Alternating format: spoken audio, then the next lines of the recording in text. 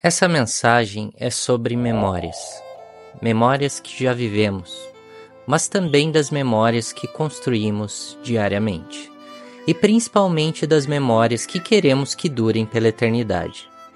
Memórias são o que nos mantém informados sobre quem somos, do que gostamos, do que não gostamos, onde queremos chegar e o que estamos construindo. Memórias continuam pagando dividendos, mesmo após a sua morte quem ainda não se recorda daquelas pessoas que foram significativas em nossa vida, mas que não estão mais conosco? Quem não se recorda daquela comida de vó, daquele passeio divertido, daquelas grandes conquistas, dos momentos mais dolorosos que nos fizeram crescer? E hoje é um grande marco na minha vida, onde eu saí do um dia e agora estou no dia um. Dia de tirar uma memória da minha mente, de um sonho antigo, e realmente construir esse sonho. O sonho de ter meu próprio sistema educacional. É por isso que estou criando a primeira escola do mundo de produtividade e aprendizado essencialistas, a EPAI. A escola que meu eu do passado gostaria de estudar. Uma escola prática, uma escola com lições aplicáveis na vida real. Menos conceito e mais método eu compilei os meus melhores conhecimentos ao longo da última década sobre aprendizado, produtividade e essencialismo e criei uma filosofia de vida que interconecta esses três campos, que mudaram a minha vida de mais de 2.300 alunos nos últimos quatro anos. Eu dedico a criação dessa escola às pessoas mais importantes da minha vida, das pessoas que eu sorrio só de lembrar o nome. A minha mãe, minha primeira educadora, aos meus avós, que mais apostaram nas minhas ideias mais malucas, a Fabiana Furtado, cofundadora, minha melhor amiga e minha parceira de missão, a minha mulher, que sempre sonha e realiza ao meu lado, e ao meu filho Mateu, a razão da minha existência e a missão da minha vida. Todos nós precisamos de educadores e mentores. Aquela pessoa que realmente para para nos escutar, que nos compreende mais profundamente e nos guia a um caminho mais inspirador do que nós sozinhos não conseguiríamos conceber na nossa própria cabeça. Seria arrogância da nossa parte pensar o contrário. Nós nascemos nesse mundo para aprender e viver novas experiências todos os dias. E se pudéssemos eternizar nosso conhecimento ao longo de décadas que já vivemos e das décadas que vamos viver, e se pudéssemos deixar um legado, uma obra que dure gerações e realmente mude o mundo? Todas as nossas memórias vividas de presente para os nossos filhos, de inspiração para pessoas que nos amam. E se pudéssemos usar cada pequeno pedaço de informação não para sobrecarregar nossa mente, mas para melhorar áreas importantes da nossa vida, ou então resolver problemas que nos atormentam. Como diria Obama, Yes, we can. E é por isso que a EPAI existe hoje, em sua inauguração, em seu dia 1.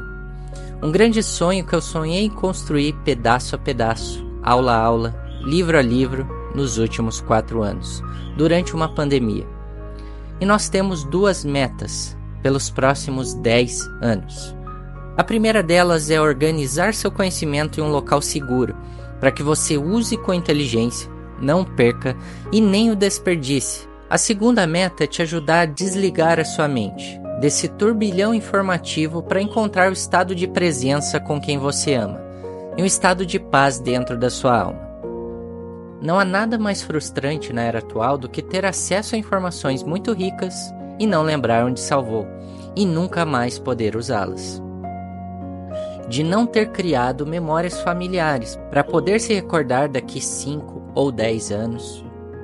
Sair do seu trabalho e ainda estar com a mente presa nele, só porque você não tirou esses pensamentos da sua cabeça e as transferiu para um local seguro, para um cérebro digital, e poder ter a tranquilidade de estar presente com a sua família.